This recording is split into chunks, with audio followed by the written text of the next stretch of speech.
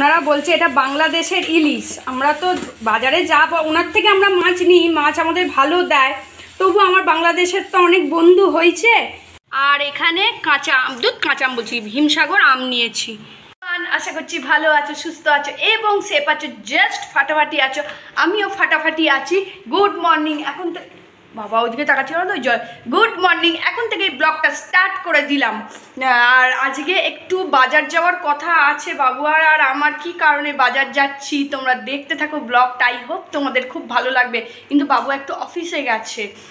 ও আসুক কি, পাবো কি না বাজারে গিয়ে সেটাও একটা ব্যাপার আছে, কিন্তু বাজার যাব। আজকে না গেলে হবে না। সামনে জামাই ষষ্ঠী এসে যাচ্ছে। জামাই ষষ্ঠীর কেনাকাটি এবার ভাবছি একটু একটু করে স্টার্ট করে দেবো। কেন? ওয়েদার মাঝে মাঝে খুব ক্লাউডি হচ্ছে, কখন ঝড় বৃষ্টি এসে যাবে, খুব সমস্যা হবে। ওই জন্য একটু একটু করে জামাই ষষ্ঠীর জোগাড় জানতো, এবার একটু শুরু করে দেবো চিন্তাভাবনা করছি।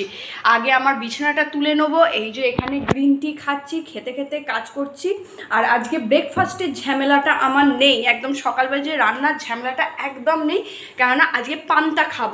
ওই জন্য ভাবলাম না সকালবেলা একটু আজকে বাজার চলে যাই। পান্তা কাল রাতে ভিজিয়ে রেখে দিয়েছি। কাল রাতে আমরা আর কেউ ভাত খেতে পারিনি, ওই মাংস খেয়েছিলাম তো। ওই চিকেন যেটা করেছিলাম, দেখলে তোমরা খেয়েছিলাম। আর ওই জন্য আর রাতে খেতে পারিনি। আর একটুখানি রাতে কি খেলাম?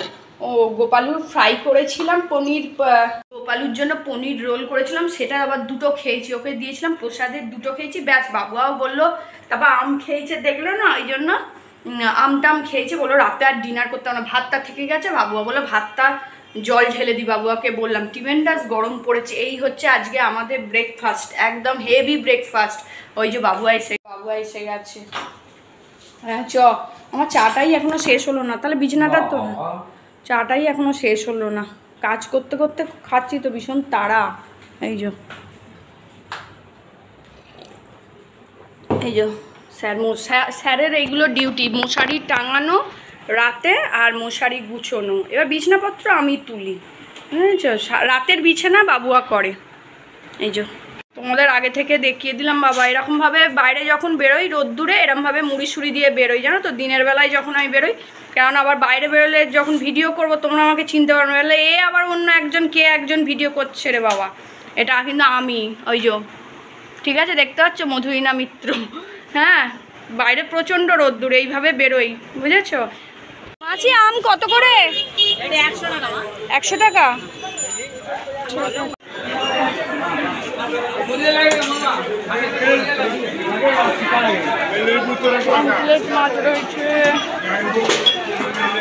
বাপরে মাছের বাজারে ভিড়টা খালি দেখো আজকে। এই যে ইলিশ রয়েছে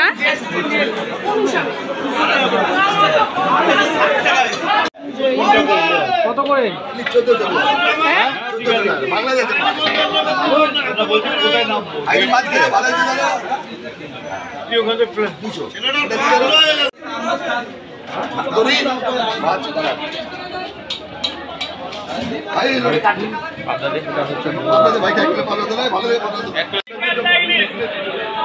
মাল গত বছরের মাল খাওয়াচ্ছ? ভর্তাটাই সবচেয়ে বড় জিনিস গত বছর এই বছর এই বছরে টাটকা মাল একদম সিজনে মাল তোমার মাল কোনো ভুল আছে না নিলে পরে পয়সা দিতে যাও। মাছটা খুব ফ্রেশ রয়েছে। এই যে এই যে এটা সরলপুটি এটাকেই সরলপুটি বলে? মারাত্মক কাঁটা তো। এটাতে? কাজী রাখব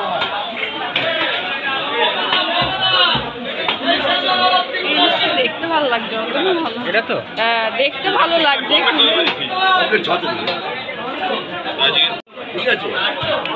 বাংলাদেশের লোক দেখছে তোমার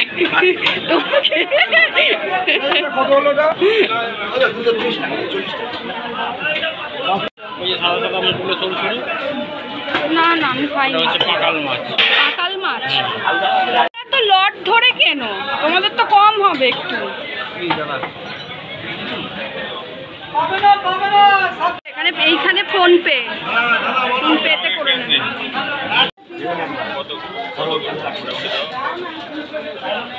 যাই হোক দাও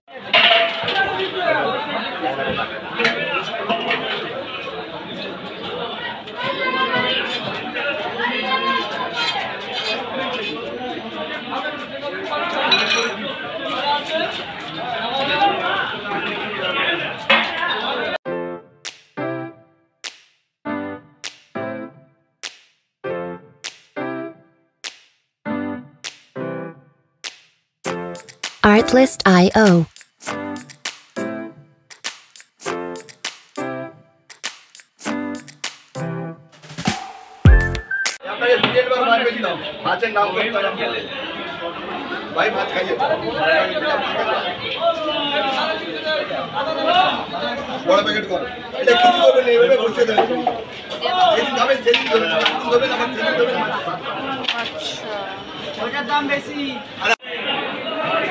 আমাদের আজকের মতো মাছ কেনা মোটামুটি ডান। এবার ইলিশটা কেনার ছিল, ইলিশটা আজকে নিয়ে নিলাম।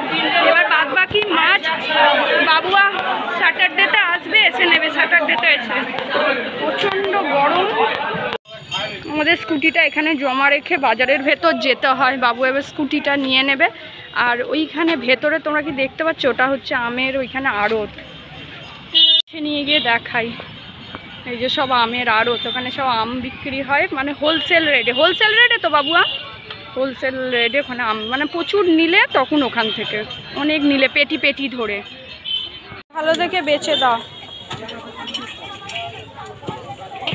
আম যে করা দেবো মিষ্টি গ্যারান্টি ফুলকপি পনেরো টাকা করে। হ্যাঁ? আমি ছোট মাছ আমি এনার কাছ থেকেই হ্যাঁ সে জানি। ফুলকপি একটা প্যাকেট নিলি না বাবুয়া? এই দেখুন। মাছটা নিয়ে চলে এসছি। তোমরা একটু দেখো মাছটা। ওনারা বলছে এটা বাংলাদেশের ইলিশ। আমরা তো বাজারে যা ওনার থেকে আমরা মাছ নিই মাছ আমাদের ভালো দেয়। তবু আমার বাংলাদেশের তো অনেক বন্ধু হয়েছে। এখন তাই তোমাদেরকে জিজ্ঞাসা করছি, এটা বাংলাদেশের ইলিশ কিনা তোমরা একটু বলো তো? বাজারেও দেখলে তোমরা কাটছি, ইলিশ মাছটা দেখাল, তোমরা দেখে বলো তো এটা বাংলাদেশের ইলিশ কিনা? ঠিক আছে? তাহলে আমরা কি একটু, আমরা তো আমাদের ব্লগ দেখলে বুঝতেই পারো আমরা প্রচণ্ড মাছ খেতে ভালোবাসি। একটু কাইন্ডলি একটুখানি কমেন্ট বক্সে জানিও। কমেন্টস করার জন্য ভাববে না বলছি তোমাদের। একটু সুবিধা হয়, আমাদেরও তাহলে মাছ চেনার ক্ষমতাটা একটু বাড়ে। বুঝতে দেখো তো, দেখো ইলিশ মাছটা। দেখেছ? আর এগুলো ভেতরের তেল। আর আজকে মাছটা আমাদের ধুতে বারণ করল। যেহেতু বলো যেদিন খাবেন সেদিনকেই মাছটা দেবেন। আমরা তো আজকে মাছটা খাচ্ছি না, এটা আমার জামাই ষষ্ঠীর ইলিশ মাছ। তো সেই দিনকেই বলল ধুয়ে সেদিনকেই মানে যেদিন খাবেন সেদিনই ধোবেন। আমরা জামাই ষষ্ঠীর দিনকেই যেহেতু করব এটা এটা আমার জামাই ষষ্ঠীর ইলিশ, ঠিক আছে? তো সেদিনকেই আমি এটা ধোবো। আজকে আমি এটাকে ধুচ্ছি না। এটাকে এখন একটা কাঁচের কন্টেনারে করে আমি এখন ডিপ ফ্রিজে ঢুকিয়ে দেবো। আর বাজার থেকে ফুলকপি নিলাম, ফুলকপির দামটা দেখলাম কম, ফুলকপি নিয়ে নিলাম, দেখবে অফ সিজনে এইগুলো খেতে মানে ফুলকপির যখন যে সবজি ফল যেটা যেটা সিজন নয়, দেখবে পর খেতে ভালো লাগে। ফুলকপির এখন সিজন নয়, কিন্তু খেতে খুব ভালো আর এখানে কাঁচা আম, দুধ, কাঁচা আম বলছি হিমসাগর আম নিয়েছি। ব্লগটা আমি এখানেই এন্ড করে দিলাম। ভালো থেকো, সুস্থ থেকে এবং সেফ থেকো। আর বাদ বাকি যে সমস্ত মাছ, আমার জামাই ষষ্ঠীর কিছু আরও মাছ আসবে সেগুলো বাবু আর স্যাটারডেতে গিয়ে নিয়ে আসবে। আজকে আমি ইলিশ মাছটার জন্য পার্টিকুলার গেছিলাম, তাই আজকে বাজারে কি ভিড়? মানে জামাই ষষ্ঠীর ভিড় হতে শুরু হয়ে গেছে মাছের কেনাকাটি। আর ওদিকে আমি আলু ভাজা বসিয়েছি, ওই পান্তা করেছি না? আলু ভাজা বসিয়েছি, এখন খেতেও যাব। ঠিক আছে, tata love you all take care